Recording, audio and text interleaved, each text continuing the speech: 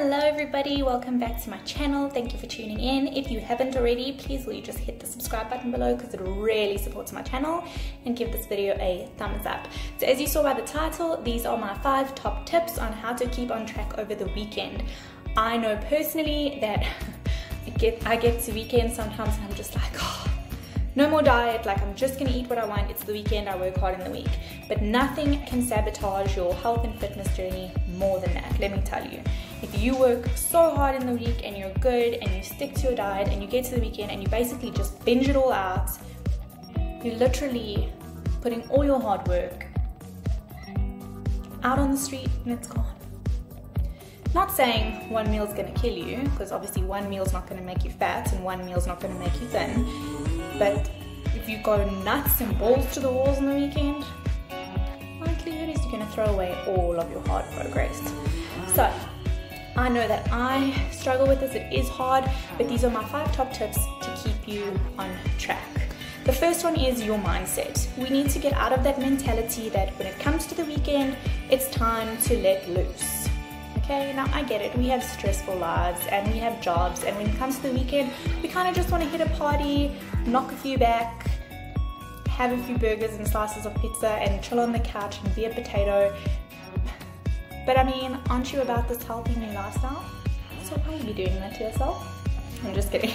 no, but getting out of that mentality of that once we get to the weekend, we lose all control, we lose all focus. You need to make this your lifestyle, and it is your lifestyle. It's not just a Monday to Friday, it's a Monday to Sunday for the rest of your life.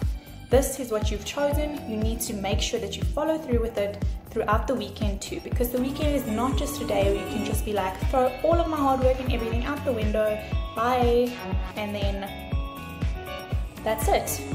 That's not how you're going to achieve your goals, and that's not how you're going to become.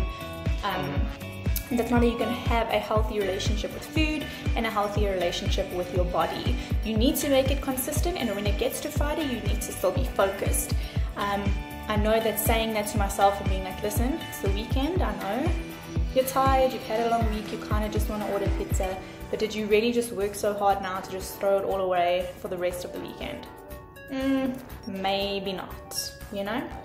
Which comes into my second tip is if you are going to have a treat, and usually you associate treats with the weekend, get out of that habit.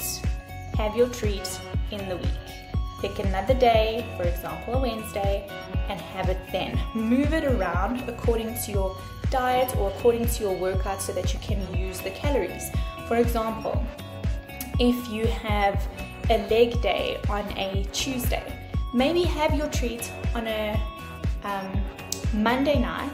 So when you go to the gym on the Tuesday, you're going to use those calories. So they're not just going to sit because leg days are usually quite intense and it's a lot of work and a lot of muscle that goes into it. So, you know, doing stuff like that, mixing it up, not making it that the weekend is all about your treats, but you can have a treat any day of the week, one treat, and that's it for you to keep you sane. Otherwise, eat clean, train mean, and have a burger to keep you sane. I saw that saying somewhere. I thought it was pretty cool. But yeah, so that's what I'm, that's another thing that can really help is just changing your mindset of being when you're going to have a treat. Whether that's a pizza, a burger, an ice cream, Oreos, whatever. Just make it on a different day so that you don't always associate the weekends with treating. Number three. This is a simple one, but it's a must. Carry your water bottle everywhere with you. People often on the weekends, myself included, I'll be shopping and I will smell food and immediately I think I'm hungry. Meanwhile, I'm just thirsty and dehydrated and have not had any water throughout the whole day. So what do I do? Go and buy something that's not probably the best choice, but I'm thinking it is because I'm kind of just hungry and I just want to eat. But had I drank water, I would probably realize, oh, I'm actually really not hungry, but it's coming up to snack time. I haven't eaten for about three hours. Let me rather grab a smoothie that kind of thing. So make sure that you keep water with you and you are drinking. Hydrate, hydrate, hydrate. If you don't hydrate, you're probably gonna think you're hungry more than what you are, and you're actually just wanting water. So that's a really good one. Number four is in the beginning of your fitness journey, I know it sounds so tedious and so annoying, but prep your meals for the weekend. Don't just do it from Monday to Friday, prep your meals for the weekend, especially in the beginning of your fitness journey. This helps you stay accountable, you've got food available, you don't need to go out and get food. Saying this though, if you are, for example, going out to a restaurant for an event, you've got a birthday, you're going out with your significant other, with a friend, whatever, do your research on what the menu offers.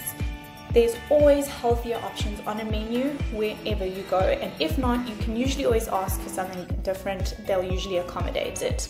So have a look at the menu, say, okay, so I'm not gonna have a creamy sauce with this.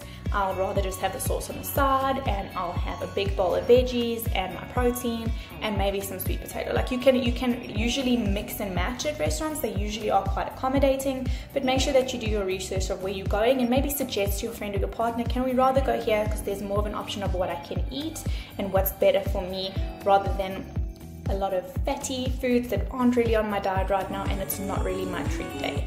So preparation and planning ahead is very, very key. And lastly, this is my favorite thing because I usually have everything but the kitchen sink in my bag, and that is to carry snacks everywhere. Snacks, snacks, snacks. Um, when you have your snacks ready available, you're not gonna go and buy a donut and buy an ice cream and buy a chocolate But instead, you're gonna grab your bag next to you, which has got your little thing of nuts, your almonds, your cashews, you're gonna grab your protein shake, you're gonna grab your raw vegan protein bar, you're gonna grab your other protein bar, um, you're gonna grab your little um, dried pieces of fruit, or whatever the case may be. Always have snacks ready available. When they're ready available, you grab them. You're not going to eat so healthy and you're not going to grab for something that you really shouldn't have. Especially in the beginning, it's so important to just follow through and plan as much as you can because once you get accustomed to it, it's going to become like second nature. You won't even think about it and it will just be natural to you. So these are my five top tips to stay healthy and on track on the weekend. I hope they will help you and I will see you guys in my next video.